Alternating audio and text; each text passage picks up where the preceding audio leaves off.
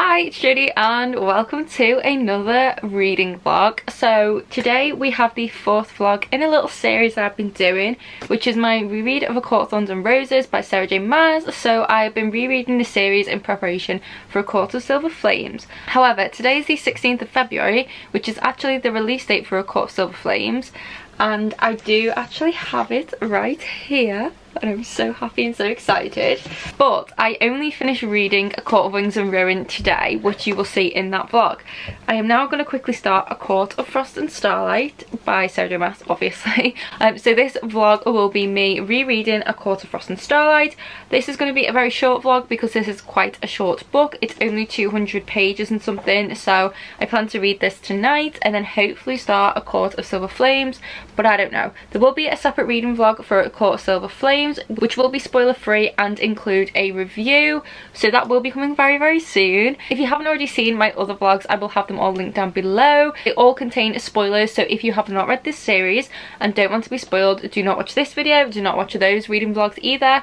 But yes we're going to be rereading A Court of Frost and Starlight.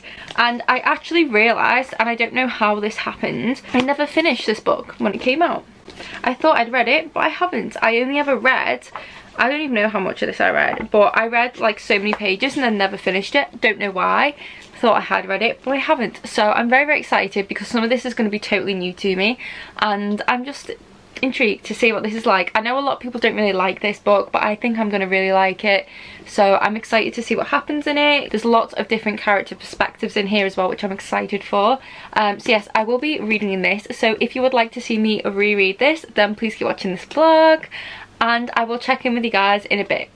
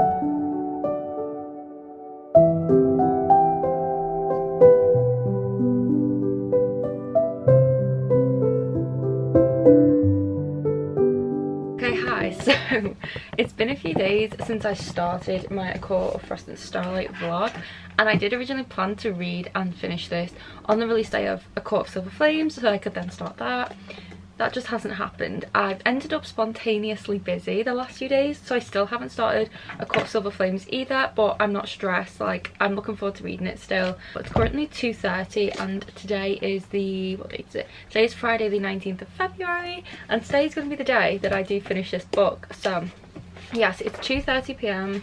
I'm currently on page 76, so there's only like 230 pages in this book, so it's definitely doable. So I plan to read and finish this today. I do have a couple of reading updates I do want to chat to you guys about from when I last read this. So on page 28, we have like a chapter that's from Cassian's perspective and I'm loving reading like all the different perspectives of the characters. Like I just think it's so interesting to see things from their point of view and like how they feel about certain things. And also this takes place a few months after the war with Hybern so it's really interesting to see how everyone's dealing with that and the after effects and what's going on really. But this one chapter and this one page um, of Cassian and Cassian's talking about like what happened to his mother and like how he feels about it. And it's just so so sad and like I don't know, it really does give a good insight into Cassian a bit more and a more personal like feel if that makes sense because we know a lot about Cassian but we don't at the same time like he's still a bit mysterious and I'm really obviously intrigued to find out more about Cassian and Nesta because obviously A Court Silver Flames is from their point of view. So sad like reading about what happened to his mother and like how he had to like cope with things. So yeah there's that and then there's also page 38 where um, Feyre has gone down into Velaris, into the art like quarter and she bumps into the fairy that she saw in ACOMAF I think it was where she had her water walls um, and there was that one um, like I think it was like a lesser fae had like a pipe and was like trying to like fight off loads of Hybern soldiers and stuff. And she bumps back into her and she introduces herself as Ressina. And then she says to Feyre um, we keep away to let you have your privacy but don't think for one moment that there isn't a single one of us who doesn't know and remember who isn't grateful that you came here and fought for us. And it's just like yeah it's just so heartwarming to see like Feyre interacting with these characters again in her home and these are her people now and how her people feel about her. And I just really really like seeing that and like it's just it's nice and to know that she did survive. Um, but they're like the only things really like to talk about at the moment. I have obviously been tabbing this um, so I do have a few tabs in here but nothing really I want to mention. I have like 100 and something pages to read. So that is the plan today is to finish this and i'm really really excited. So yeah i'm gonna go and do that now and i will update you guys when i have something that i want to talk about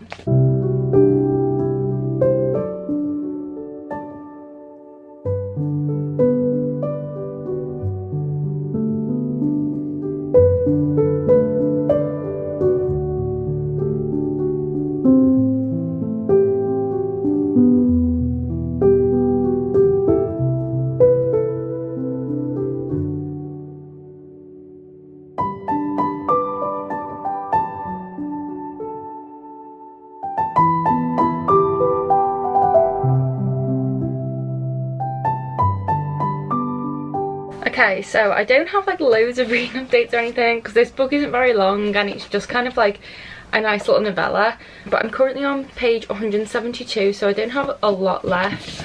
But I'm just loving this. There's nothing in particular really to talk about. I'm just really enjoying like the family dynamic of this book. Seeing like the inner circle just kind of be themselves and spend time together and just kind of have like a well-deserved rest after the war like it's just so heartwarming the only like things that have happened in here is like um, Rhys went to visit Tamlin to talk about how like he's not really enforcing his borders at the spring court and he said some things to Tamlin that he probably shouldn't have and obviously Tamlin has like no servants, he has no people, he has no court, he ha doesn't have anything. Like he's totally on his own, dishevelled, like alone. And for me I feel like this is going to cause big problems later down the line because being alone filled with hatred and just like angry not a good recipe at all you know? Yeah and then there's the like the unrest in the Illyrian camps. I think a lot of people are feeling angry for all the soldiers that they lost and they're trying to pin the blame on someone I don't know how that's going to play out. It is making me worried. So there is those two things and then there's Nesta. Nesta is just being straight up horrible. Like I think it's because she's struggling to deal with her trauma.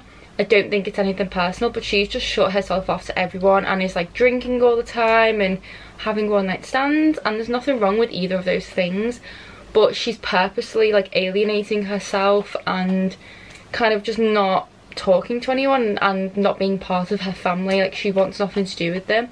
I think it's because she's just trying to work through her trauma, but it's still like really sad and she's still being like really really horrible to Feyre and Elain and it's not very nice to see. So I mean there's that and Lucien is living with Queen Vassa and Jurian on the human lands and it's kind of like the three of them don't really have a home so they're all together.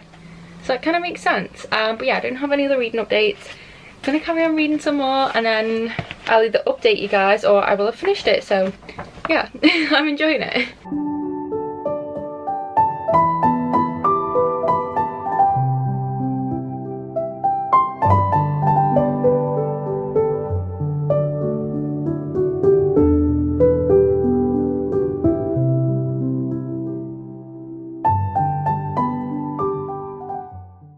Okay, so I've just read chapter 21 and there's like a Nesta's like point of view. Like at the end of it after like Cassian tried to walk her home and she was like just go away leave me alone and all that and she's talking about how like most of the time it was just silence ringing draining silence.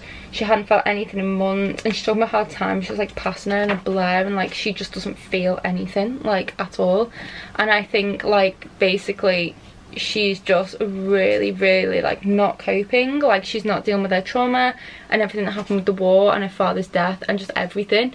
And instead of dealing with it and facing it she's just choosing to be even more horrible than usual and just totally isolate herself and just like not allow herself to feel anything. And it's really sad but she is being such a bitch about it. But i mean it's still sad and she's obviously dealing with stuff which is why she's just shutting herself off to everyone. And yeah it's sad.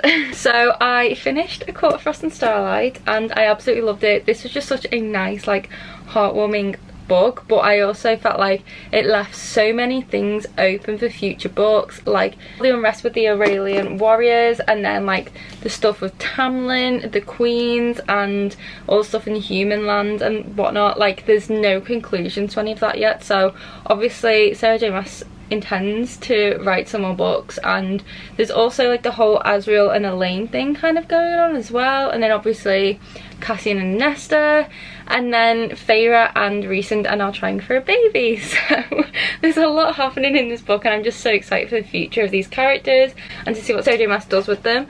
But I just love this. This was just such like a nice fun book and like a lot of people don't enjoy this and I think it's because maybe people were expecting like something else. But I feel like this is such an important book and I feel like this is something that when Sarah J. Maas does write future books and there's a new plot line this would have been like a nice stepping stone in between because this is just a nice kind of catch up as to like what characters are feeling now that the war has ended what exactly is going on what things still need to be resolved.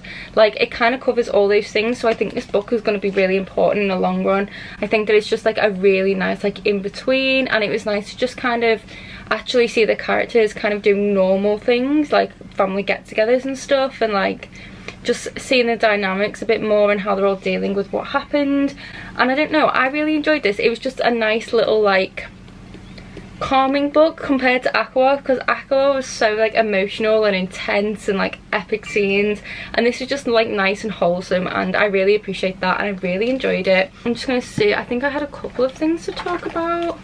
I love this. So Rhys has bought like this massive estate and he said to Feyre like do whatever you want with it. Like build a home for our family. And he says build a house with a painting studio, build a house with an office for you and one for me, build a house with a bathtub big enough for two and for wings, build a house with rooms for all our family, build a house with a garden for Elain, a training ring for the Illyrian babies, a library for Amren and an enormous dressing room for Mor, build a house with a nursery Feyre.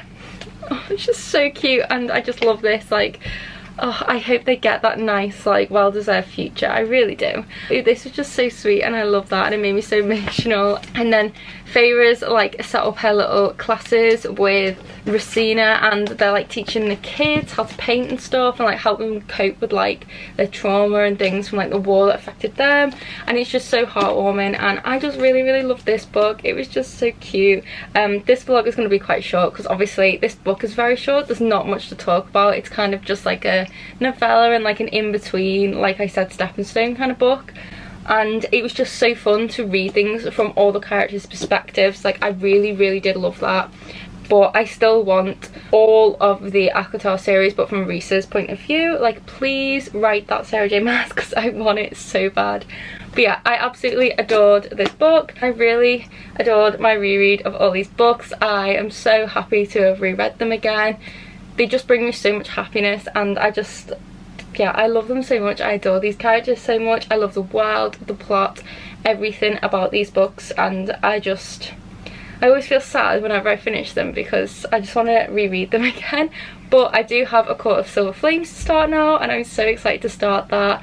I'm really interested in seeing what happens with Nesta in particular because I do feel like she's dealing with a lot of stuff and a lot of trauma and harbouring a lot of not good stuff so I'm intrigued to see how her character might grow and change in A Court Silver Flames. But yes, I, I, had so much fun doing this reread and doing these vlogs. So I hope that you guys have enjoyed all my reading vlogs. If you've missed the other ones that I've done, I will have them linked in the description box down below where you can go and watch them. Obviously, they're all spoiler filled. And I will be doing a reading vlog and review for A Court of Silver Flames. It will be spoiler free so you can go and watch that whether you've read the book or not when that goes up. It will be coming very very soon and I'm so so excited to read this book. I've heard so many good things and I'm here for the smut as well like I can't wait for the smut. Um, but yeah I'm just so excited about all the upcoming books. I really hope Sarah J Maas releases some more details soon what other things she's planning, what the characters she might write about. I kind of do want another little novella if like Feyre and Rhys do have a little baby and stuff like it'd be really nice to see that. Yes anyway I'm rambling. I hope you did enjoy this video. If you did please do give it a big thumbs up, subscribe if you'd like to. I make bookish videos twice a week and I also host weekly live shows so if you don't want to miss any of those make sure you hit the subscribe button and join my little corner on the internet. All my social medias will be linked in the description box along with the vlogs that I've done previously like I said. I hope you're all safe and well and I'll see you in the next one. Bye!